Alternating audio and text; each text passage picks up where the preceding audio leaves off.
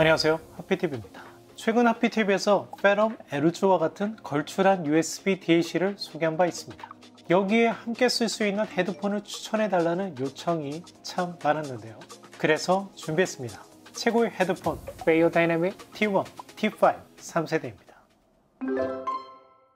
오늘 영상은 리뷰뿐만 아니라 영상 후반부에 공동구매 소식도 있으니 끝까지 시청해 주시길 바랍니다 독일 헤드폰 3강하면 Sennheiser Beyerdynamic AKG가 꼽혔죠.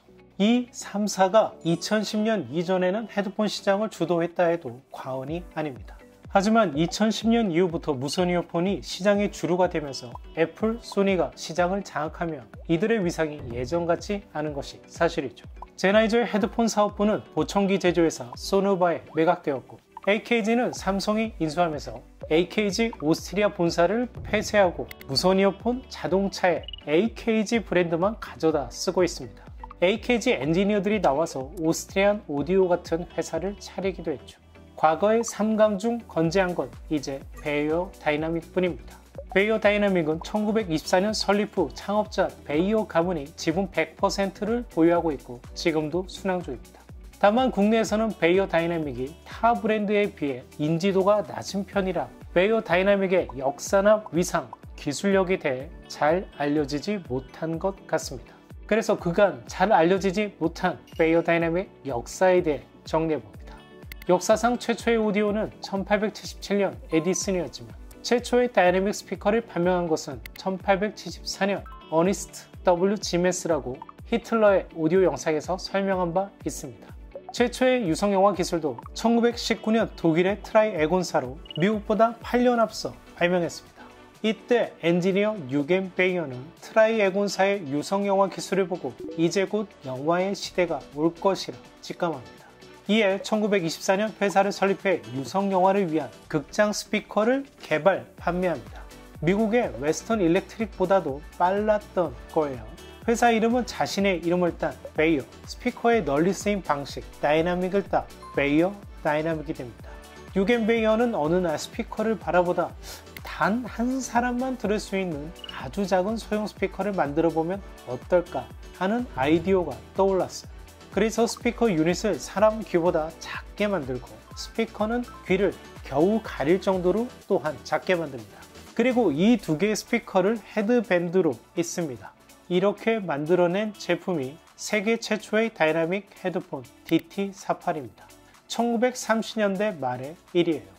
우리가 지금 사용하고 있는 헤드폰의 원형을 지금으로부터 90여 년 전인 1930년대 말 Beyerdynamic이 개발했던 겁니다.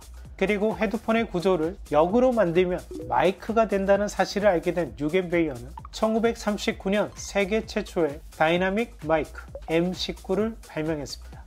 이렇게 마이크 제조사가 헤드폰까지 생산하는 게 지금으로는 당연하게 느껴집니다만 그 시작은 90여 년 전에 베이어 다이내믹이 시작이었던 겁니다. 다이내믹 스피커를 발명한 어니스트 W 지멘스, 다이내믹 헤드폰과 다이내믹 마이크를 발명한 유겐 베이어, 초기 오디오의 주요 기술은 모두 독일에서 완성됐습니다. 헤드폰과 마이크를 발명한 유겐 베이어는 자연히 시장을 점령하게 됩니다. 이때는 젠하이저 AKG는 창업조차 하지 않은 때였어요. 동시기 독일 마이크 시장을 점령했던 브랜드는 노이만입니다.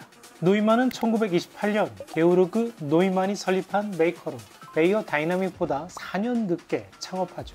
당시 두 기업 모두 베를린에 위치했기 때문에 두 사람은 친분이 있었습니다. 베이어 다이나믹이 다이나믹 마이크를 개발하자 노이만은 콘덴서 마이크만을 베이어는 다이나믹 마이크만을 판매하기로 협정을 맺죠. 이 약속은 게오르그 노이만이 사망할 때까지 지켜집니다. 독일 초기 마이크 산업에는 텔레풍켄 같은 거성도 있었습니다만 베이어 다이나믹, 노이만 같은 벤처 기업의 기술 혁신으로 마이크 산업의 토대가 완성됩니다. 베이어 다이내믹이 본격적인 영업을 펼치려는 찰나 2차 세계대전이 발발하죠. 이에 회사 본사를 베를린에서 남부 슈투트가르트 위쪽에 위치한 작은 도시 하일브론으로 이전합니다. 지금도 이곳에 본사가 있죠. 종전 후 오디오 세계는 르네상스가 찾아옵니다. 이때 LP, 스테레오, FM 라디오 기술이 쏟아졌고 10대들은 부모 몰래 음반을 듣기 위해 헤드폰이 필요했습니다. 이전의 헤드폰은 스튜디오에서나 쓰는 제품이었지만 이제는 학생들이 사용하는 제품으로 변한 거죠. 음반 산업이 발전하니 스튜디오가 늘어나 헤드폰과 마이크가 많이 판매되며 이 시기 베이어 다이나믹도 크게 성장합니다. 물론 베이어 다이나믹의 성장을 지켜보다 창업한 젠하이저 AKG의 추격이 거셌지만 이때 이미 수십 년의 노하우를 갖춘 베이어 다이나믹의 경쟁 상대는 아니었습니다. 베이어 다이나믹은 1957년 감도가 뛰어난 리본 마이크 M160을 1961년에는 동사 최초의 무선 마이크 트랜지스터 폰 1963년에는 영국 엘리자베스 2세 첫 호주 방문 공식 마이크로 선정 1966년에는 비틀즈가 독일 투어에 베이어 다이내믹 리본 마이크 E1000을 사용했고 이외 엘튼 존, 아바, 스티비 원더가 베이어 다이나믹 마이크를 애용했습니다. 이렇게 1960년대 베이어 다이나믹이 마이크에 집중하면서 젠하이저와 코스와 같은 헤드폰 경쟁자의 추격을 허용하죠. 특히 젠하이저가 1968년 오픈형 헤드폰 HD414를 발표한 것은 결정적이었습니다. 절치부심한 베이어 다이내믹이 1970년대부터 명기를 쏟아냅니다. 1973년 4채널 헤드폰 DT204 1976년 독일 제조사 최초의 정전형 헤드폰 ET1000 그리고 1980년 지금도 명기로 꼽히는 DT880을 발표해 크게 히트합니다. 1985년에는 이를 잇는 DT770, DT990을 발표하죠. 이 모델들은 시대를 초월한 스테디셀러로 불리며 지금도 현역으로 판매되는 제품입니다. 2, 30만원대의 신품을 구매할 수 있는 제품으로 가성비가 우수한 헤드폰을 찾는 분께 추천하고 싶은 명기입니다. 그리고 1988년 서울 올림픽에는 동사의 헤드셋 DT108, DT109가 공식 헤드셋으로 선정됐고 2002, 2006년 월드컵에도 베이어 다이내믹 헤드셋이 선정됐습니다. 만 99년간 혁신을 선보여온 베이어 다이내믹이지만 consumer 시장보다는 프로 시장에 집중해온 측면이 있고 이어폰 헤드폰의 경우 마케팅이 부족하긴 했지만 특히 무선 이어폰 시장의 대응이 느렸던 것이 패착이죠. 젠하이저 또한 이 트렌드에 제대로 대응하지 못해 결국 사업부를 매각했어야 했으니까요. 베이어 다이내믹은 안정적인 재정 구조를 가졌기에 매각하는 일은 없었습니다. 대응이 느린 것은 분명했지만 최근 들어 적극적으로 새로운 라인업을 선보이고 있습니다. 베이어 다이내믹 라인업은 너무 풍성해서 모두 소개하려면 너무 많이 시간이 소요되기 때문에 하이엔드 헤드폰 라인업만 간추려 소개해봅니다. 동사의 하이엔드 간판 모델은 flagship T1과 T5죠.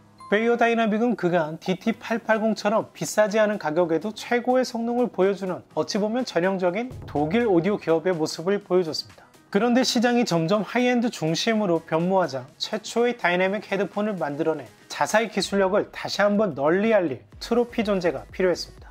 2009년 T1 그리고 T5P를 발표합니다. 이 모델은 베이어 다이내믹이 만들어낸 테슬라 기술이 투입된 모델인데요. 다이내믹 유닛에는 이를 컨트롤할 수 있는 magnet 자석이 쓰입니다. 스피커의 세계에서는 자력이 강할수록 좀 더 정확한 음을 만들어내는데 유리합니다. T1과 T5P에는 1테슬라, 즉 1만 가우스에 해당하는 강력한 네오디뮴 magnet을 장착해 고음질을 이끌어내는데요. 동사는 이를 테슬라 기술이라 부릅니다. 이때는 자동차 테슬라가 유명하지 않을 때라 기술 명칭이 자연스러웠는데 지금은 헤드폰에 웬 테슬라 싶으실 겁니다.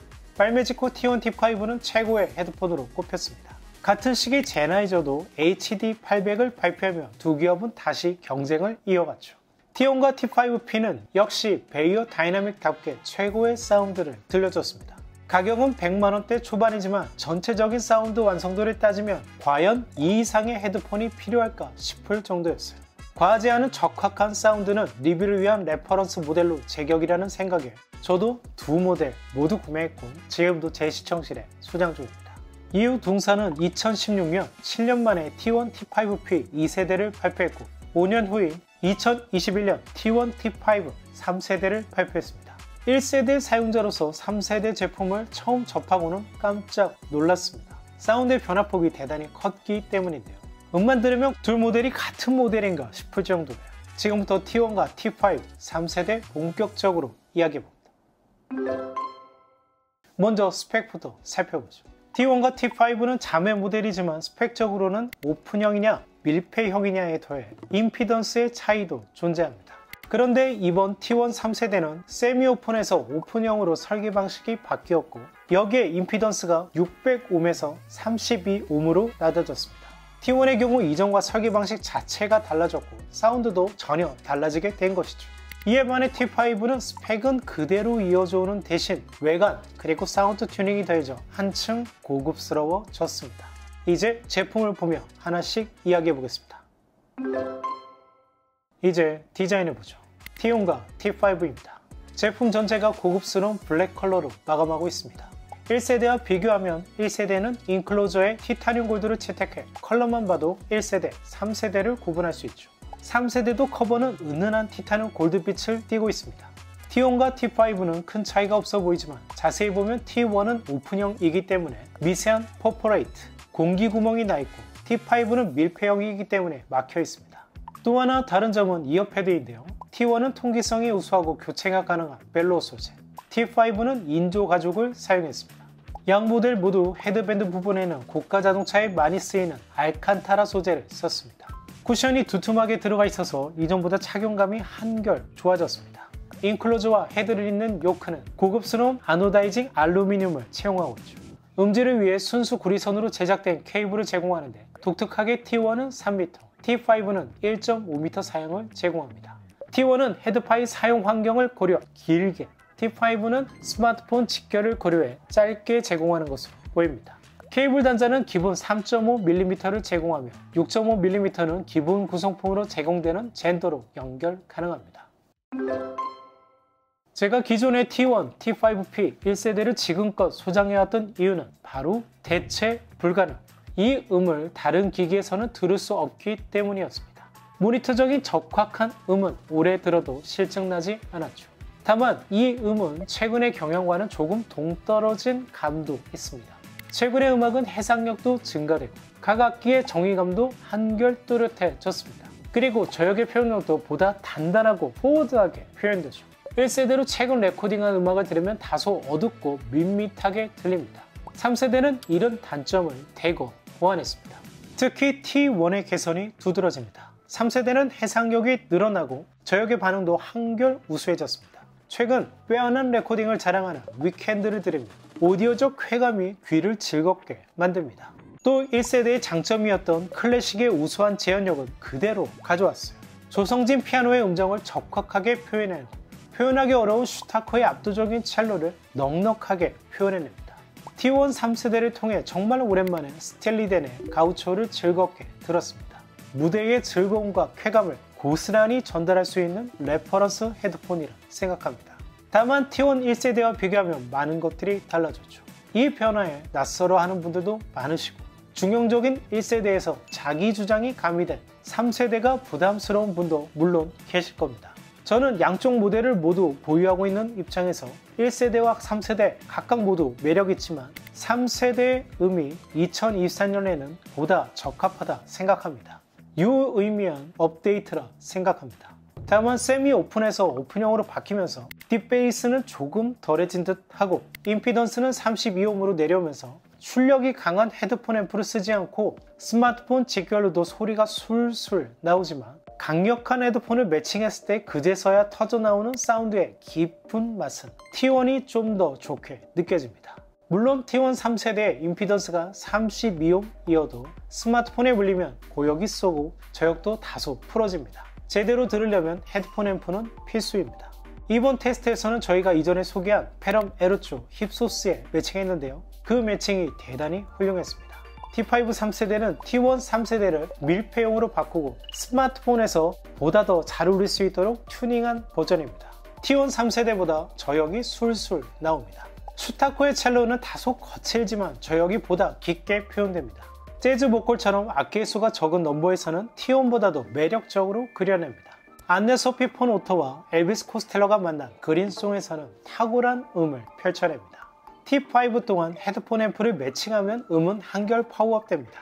그렇지만 무엇보다 스마트폰에 직결했을 때 T5는 놀라워요.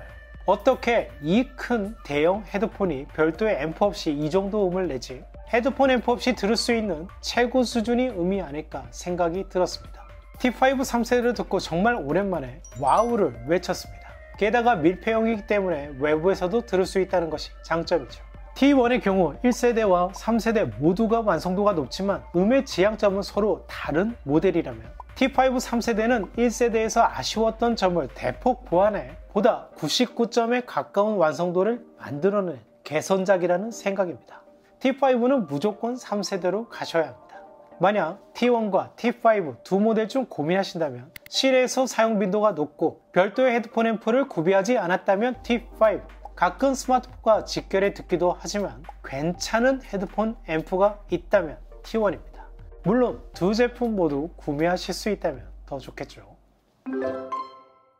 최근 오디오계는 소위 초심을 잃은 메이커들이 많습니다. 신작이 나왔다 하더라도 소리가 오히려 퇴보하는 경우도 적지 않은데요. 베이어다이나믹 T1, T5 3세대를 통해 100여 년의 역사와 최초의 다이나믹 헤드폰을 개발한 전력이 어디 가지 않고 여전히 건재함을 증명해냈네요. 하피TV는 다수의 헤드폰을 다루지 않고 여러분께 추천해 드릴 수 있는 제품만 리뷰하고 있는데요. 베이어다이나믹 T1, T5 3세대 100만원대 레퍼런스 헤드폰을 찾는 분께 자신있게 추천합니다. 마지막으로 공동구매 이야기입니다. 페롬 에르츠 리뷰에서 에르츠에 어울릴 헤드폰을 소개해드리겠다고 말씀드렸는데 그렇게 해서 선정한 모델이 바로 T1, T5 3세대입니다. 이번 공동구매는 T1, T5 두 모델 모두 진행하며 그동안 보시지 못했던 업계 최저가로 준비했습니다. 그리고 페롬 에르츠와 함께 구매하실 분들을 위해 좀 더 높은 할인율이 적용된 패키지도 준비했습니다. 또한 전원장치 힙소스, 단품 헤드폰 앰프 5호도 함께 구매하실 수 있습니다. 여담이지만 페럼의 새로운 DLC 반들라도 구매 요청이 많은데요. 당연히 반들라도 국내 수입되는 대로 공동구매 계획이 있습니다. 하지만 에르조가 놀라운 할인율을 보여준 만큼 반들라도 유사한 할인율을 기대하실 것 같은데요. 사실 불가능합니다.